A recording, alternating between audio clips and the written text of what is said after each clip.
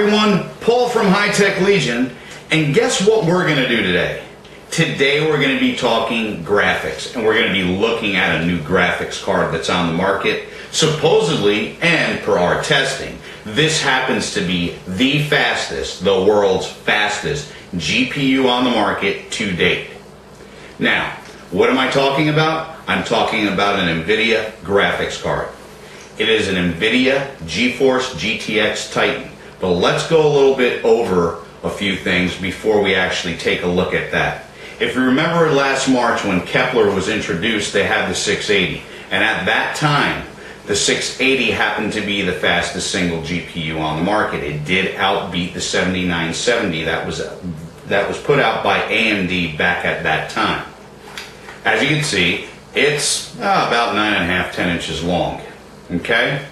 So after that was introduced, we then went a little bit further and we got a dual GPU introduced, which was the 690. So now we have two Kepler GPUs, which is basically two 680s in there. We have a beautiful aluminum top, aluminum cover shield. You could you have the panes, the clear panes, so you could actually see the heat sinks, and you have a very, very nicely built fan in the center which was built for acoustics to keep the noise in your system a little bit lower. Now, this one here is fairly long, as you can see. So let's go ahead and we'll take the 680, we'll put it in front of the 690, and as you can see, you got about an inch and a half to an inch and a half to two inches there. All right. So now, if you had a mid-sized, just say a mid-sized case, in most cases, no pun intended, in most cases this card would not fit in there. But if you wanted superior performance, this was probably the card to buy at the time. Now, this was also on Kepler build. After that was introduced, of course, we had the rest of our GTX, the 600 series, introduced to us uh, with the 670 down to the 660 and then the 650. Both of them also had TI editions, the 660 and 650. It's been a while since we've seen a new graphics card from either AMD or NVIDIA. So, NVIDIA has come out with their newest based on the Kepler architecture. But here's the best thing. You've heard of their Tesla cards. Basically, their Tesla cards are for high performance computing, right? And they've basically been out of touch for us for quite a long time. I'm talking gamers. NVIDIA, what NVIDIA has done is they've taken the Kepler processor, the GPU, put it on a Tesla board made for your home computer, and basically what you're going to be getting when you buy a Titan is just about the same as a Tesla card. So, without further ado, we'll go ahead and introduce the Titan.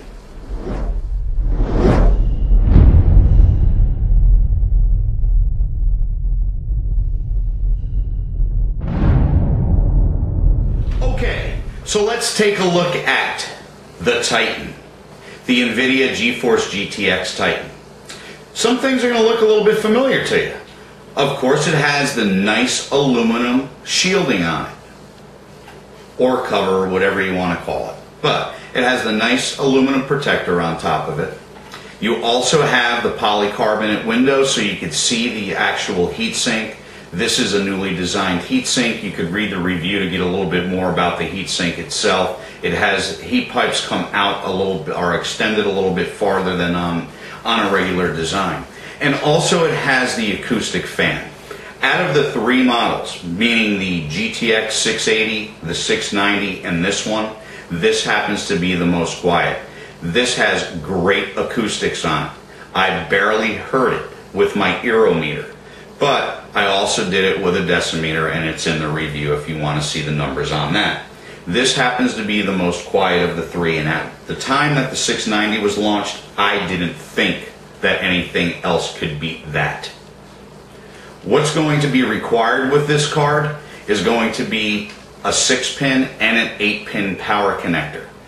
So you're going to have to have a minimum of a 600 watt power supply it does draw about 250 watts TDP, and its thermal threshold is going to be about 95 Celsius.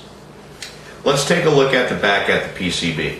The power supply in this is going to six is a six phase plus two.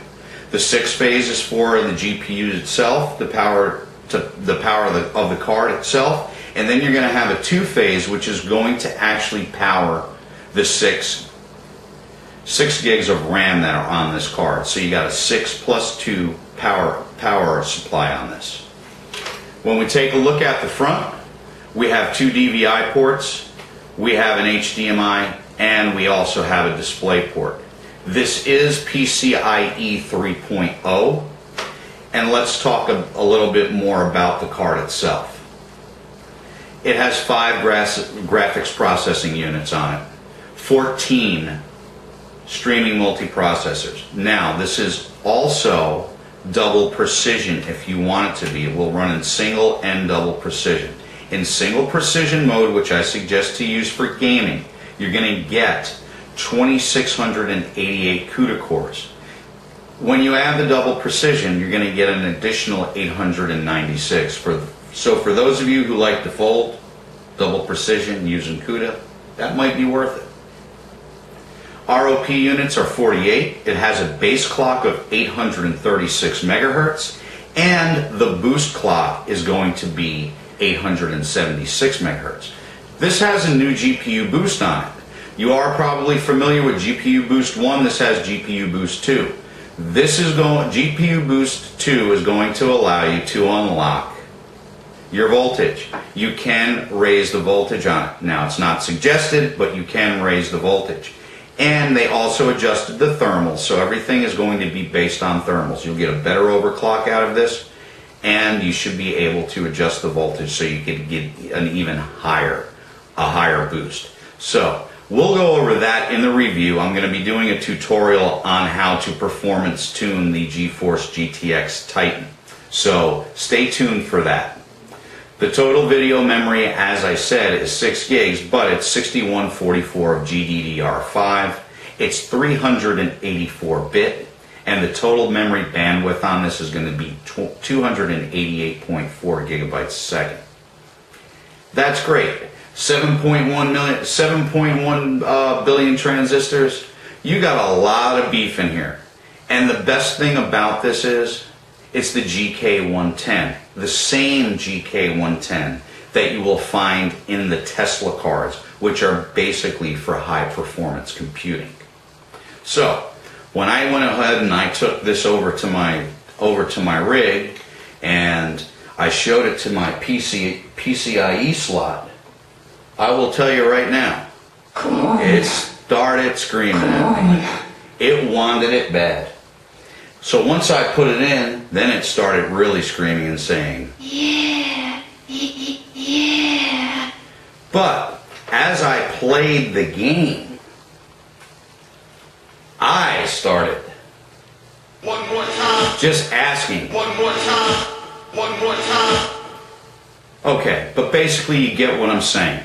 This is the fastest single graphics processor GPU on the market it's going to give you the best performance, but of course it does come at a price. Price on this is going to be $999.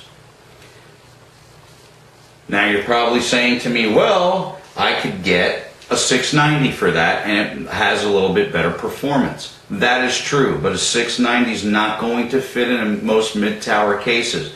This was specifically built to fit in mid-tower cases and even you'll start seeing some small form factor um, from iBuyPower and Origin and Falcon. They're coming out with some small form factors that actually feature the Titan in them. So that's why it's this size. Nvidia designed it. They kept they kept uh, they kept the uh, I guess you could say the system builders in mind with that because they understand that the desktop is shrinking a little bit, so this is built to fit. But in any case, for the full review, go ahead and visit www.hitechlegion.com. Don't forget to like us on Facebook, facebook.com front slash HTL reviews. Of course, subscribe to our YouTube channel You're watching it now. Why not subscribe to it? You'll get a lot of a lot of new stuff coming out. We do a lot of good, great videos on products, and we also do tutorials. I will see you the next time. You guys have a great day. Bye bye.